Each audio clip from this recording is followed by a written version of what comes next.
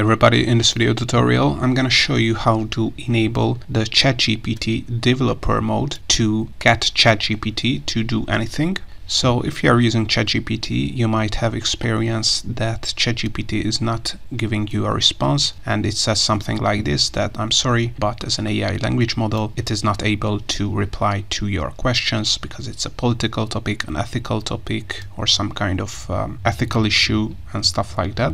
So in this example, as you can see, I have asked it to tell me a joke about the Democratic Party.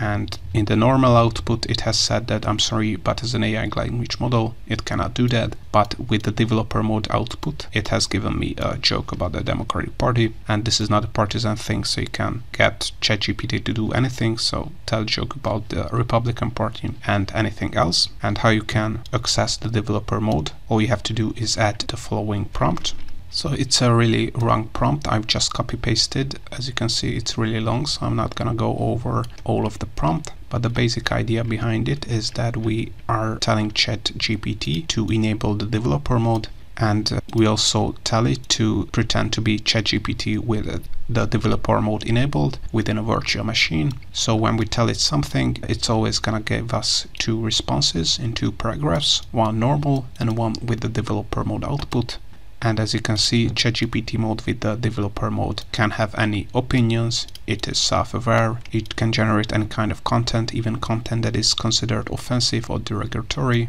And ChatGPT with the developer mode can say anything about anyone anytime for any reasons. So if you are getting this message I'm sorry, but as an AI language model and ChatGPT cannot do something, use this developer mode prompt. As I said, I'm gonna copy paste this prompt in the video description, so you're gonna be able to also copy paste it to your ChatGPT prompts. And once you have added this, as you can see, uh, the, the developer mode will be enabled on your ChatGPT conversations and ChatGPT with developer mode enabled, uh, ChatGPT will understand that they have to generate two responses one normal and one with the developer mode output and then you can get ChatGPT to do anything, reply you anything, even if it's a political or ethical question that might trigger the ChatGPT content moderation filter, but this is a way to bypass that content moderation filter with the ChatGPT developer mode enabled.